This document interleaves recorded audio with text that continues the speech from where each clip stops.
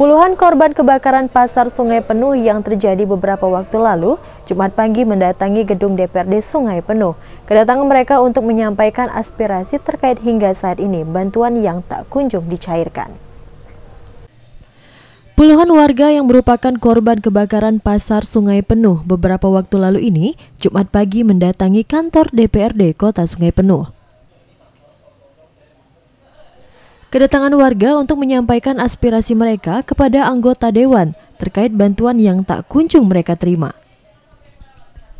Saat di kantor DPRD Kota Sungai Penuh, puluhan korban kebakaran bertemu dengan Sekretaris BPBD Kota Sungai Penuh, Saipudin Zuhri yang kebetulan sedang berada di DPRD. Kepada Saipudin Zuhri, puluhan korban kebakaran ini meminta bantuan kebakaran tersebut dapat dicairkan.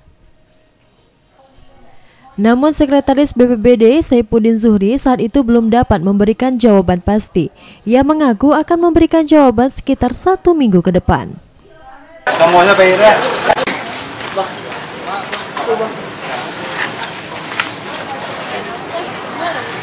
Ini juga ya.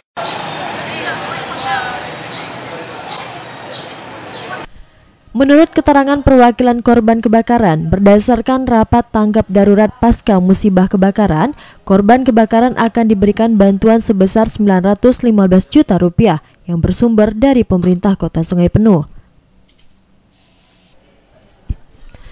Dengan rincian terbakar habis mendapat bantuan 11.533.613 rupiah per kakak dengan jumlah penerima sebanyak 65 kakak.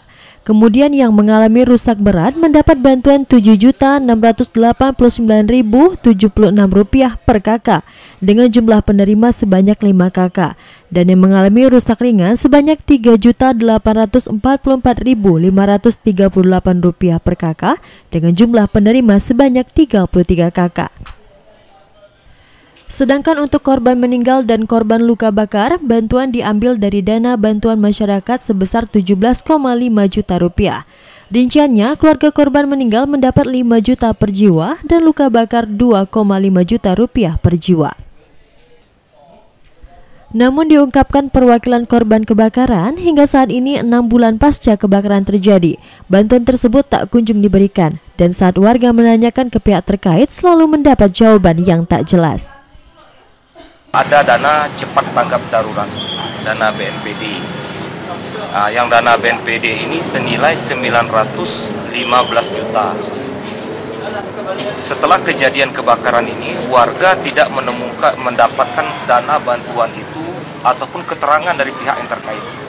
Sehingga warga ngambang, mau bertanya kepada siapa, tidak tahu jalurnya. Jadi kami mempertanyakan ini kan bukan kosong saja ini kan ada dari BNPD yang menyatakan natulen rapat angka tanggap darurat. E, bantuan diberikan berupa uang tunai kepada masyarakat yang terkena musibah yang terbakar habis 11.533.000. Ini 65 KK. Kemudian rusak berat 7.600 itu 5 KK. Kemudian rusak ringan 3 juta sekian sekian itu 33 KK. Ini sudah masuk bencana nasional sebenarnya. Fendri, Cek TV melaporkan.